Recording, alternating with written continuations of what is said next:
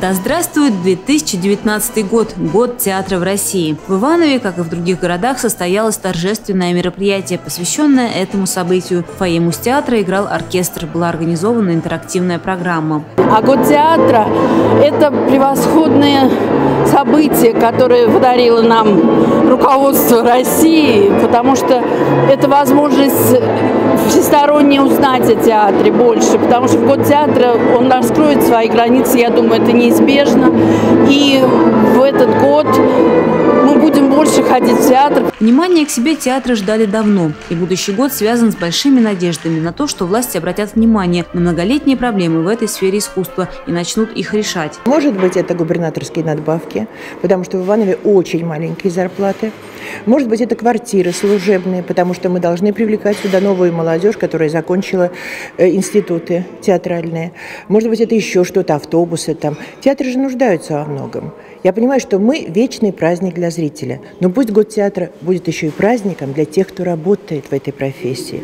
Год театра – событие знаковое, и уже сейчас театры готовят программу мероприятий на будущее. Большие премьеры, нестандартные акции, многочисленные мастер-классы. И все ради одной цели – чтобы привлечь в театр новых зрителей. Впервые за несколько лет возвращаем э, пока небольшое, но все-таки финансирование новых театральных постановок. Кое-какие средства выделяем театрам на приведение их в порядок, на ремонты. В этом году, вот вы знаете, один из театров у нас световое оборудование поменяли, но главное не это. Главное это внимание к людям, внимание к этому прекрасному искусству, внимание к тому, что делают наши прекрасные артисты.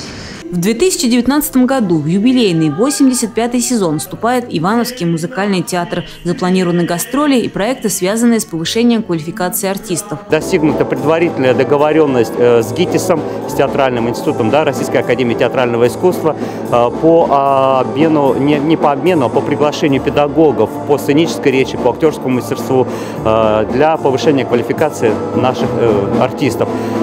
Также хочу сказать, что заключено предварительное соглашение с Центром оперного пения Галины Вишневской, э, тоже для приглашения солистов и совместного, э, реализации совместного проекта. В свою очередь, руководство и артисты Мустеатра надеются, что будут решены проблемы с музыкальными инструментами и качеством звука. Любовь Почерникова, Денис Денисов, РТВ Иванова.